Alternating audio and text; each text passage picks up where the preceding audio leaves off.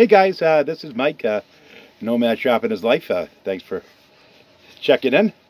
Uh, well, as you can see from the title, uh, uh, some things going on in my life. I went in the hospital uh, 1st of February so. I had a hard time breathing, it's like hyperventilating. And still had pneumonia. So there for three days. And then uh, that was about it. Went home. And uh, actually started to feel a little bit better. Uh, for a couple of days. And uh, now, I don't know, a lot of people may not understand. I'm living, uh, I live uh, uh, like an urban nomad, nomad in my 22 foot uh, Chevy G30 Elite uh, camper, off grid. Uh, you know, I my own energy and all that stuff, generators, what have you. Time, I'm now still in this, doing the same situation, but I've got a friend of mine gave me a spot out in his yard to park the RV, and I'm staying there, and I got electric now and stuff. So that's good. Makes it a little bit easier. Anyway, so uh, yeah. so then Monday night, I lay down, you know, get some sleep. Couldn't breathe. Sat back up again. Another night, same thing. And then, uh, you know, sometimes you get sick, it, it drags you down so far, emotionally and mentally. Do you get make a decision? At least I found that. So,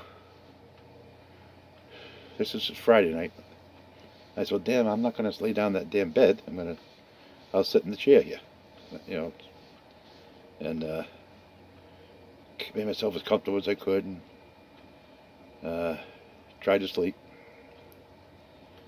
Uh, off and on, I'd slept, you know. Get up in the morning. I was so tired, I, did, I couldn't make a cup of coffee. So I said, the heck with it, I'll get, get in the truck and go down and get a Cumberland Farms, go get coffee. And um, I walk in there, and if I tell you it took me 10 minutes to go 50 feet, I wouldn't be exaggerating, you know, it was, it was that long. Got to the counter for the coffee. Poured the coffee. That place you make it your own. Had to rest a few minutes. Put the sugar in. And I go up, pay for the coffee, get in the truck. now I have a friend of mine, Matt. He's my son. I call my son. We've known each other for oh, many years, a long time. And uh, he came to work for me when he was a young kid, still in high school. And uh, um, I've always I took him on his wing, and you know, uh, we've always been good for each other. Most of the time, I guess.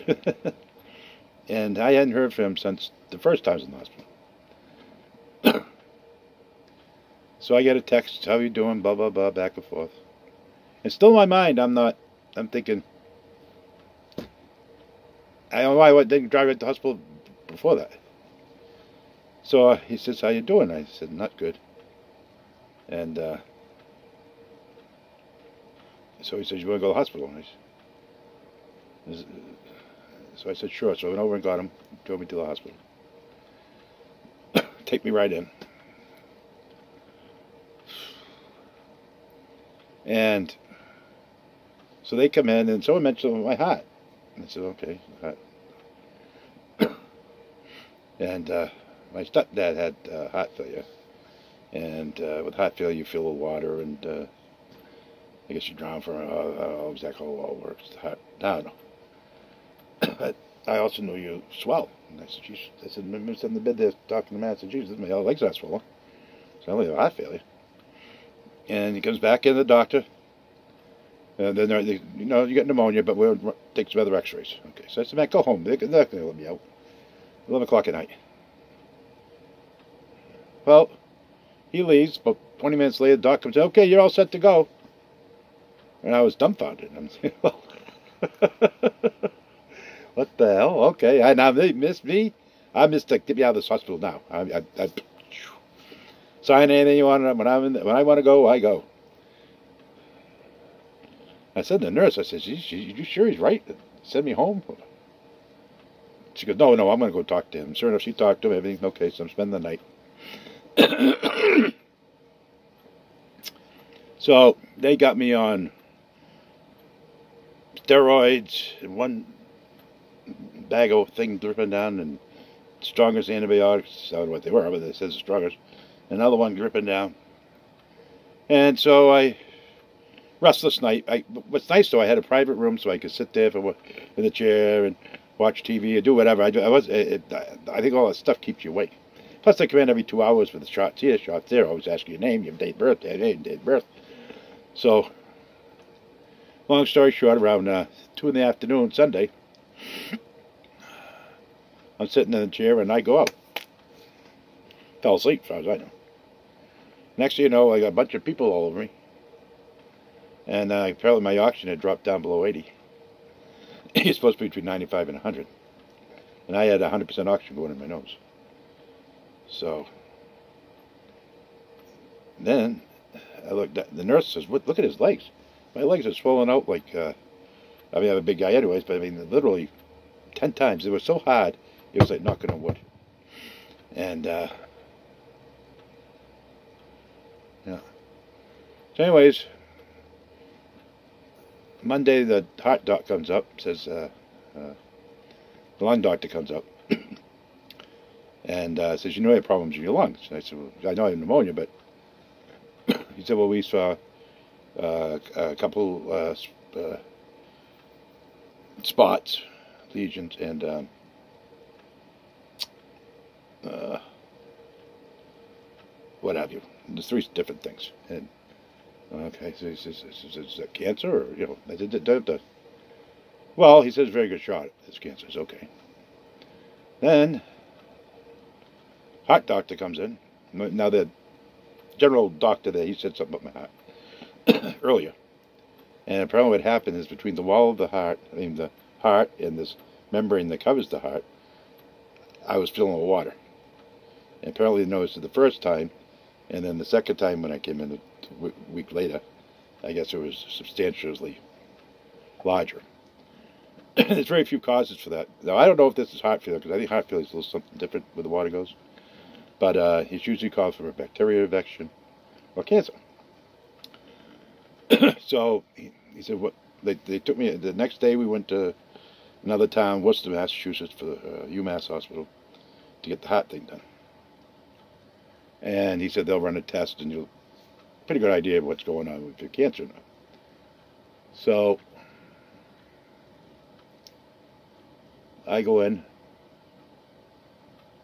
and uh, they did that. They took almost a liter of water out, of fluid out, blood, I guess, if I've ever at that time. And then uh, they emptied the bag twice tonight. And actually, by the next day, around noontime, it was coming out. It was just a very light pink. It wasn't like a purplish red like it was before which meant that uh, it had drained and that part of the, this uh, problem is gone. Anyways, so they come back in. First is the heart doctors. and I, I, I just want to go home. Me, I, I have so much to process. I had the cancer thing, I had the heart thing. I was feeling better because obviously when they drained the heart, I could breathe a little better. And uh, it's such a shock to me. You know, you, you think, well, you get lung cancer, well, you got to get a a warning or, you know, it, it leads up to it. Uh, in January, man, I was shoveling. I was doing, you know, I'm not both athletic guy. I'm not in great shape by no means, but I'm, you know, I, I was could do what a typical 60-year-old guy could do, within reason. Even with all my ailments, because I have diabetes and I have uh, neuropathy and a whole other slew of things. So I get out. Oh, and then then the, they they told me that I had the cancer. Now, when I I'm thinking lung cancer. They said they also found a spot, and I don't know if it was my throat, my something down this area. so, you know, I, I go home and I start thinking, what the frig? You know, but again, rather other than being a little short of breath now after the whole incident and the heart and the lungs and pneumonia, and uh, I haven't needed my oxygen. I haven't needed my uh, other nebulizer things. You know, I'm going to start them back up this week, though. I mean, uh, tomorrow, machine. I think just for a preventive thing. And, uh, you know, I'm tired. My, my legs are killing me. Because I think what happened is that stretched all my muscles and everything. And then I got a sore on my foot now. I'm very, I just realized how bad it is. There's a big water, big water thing filled up, you know, between the skin. And that popped, and now it looks like it's fucking infected. Excuse my language. I'm sorry, folks. I don't. I'm not a swearing guy. But anyways, so I have real doubts about what to do. Real doubts. You know, my I, I have for five, six years. All I want, my whole goal in life was just to be a nomad. When I say a nomad, I just want the freedom. I was just wanting to wake up one morning, one time,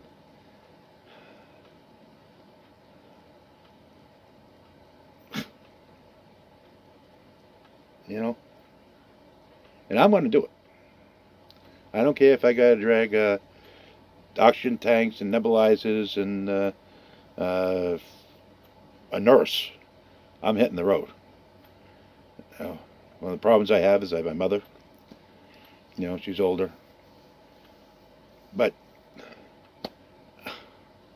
I've been held back all these years from my, you know, first my dad, which is fine. All this is fine. This is all wonderful, but just give me a break.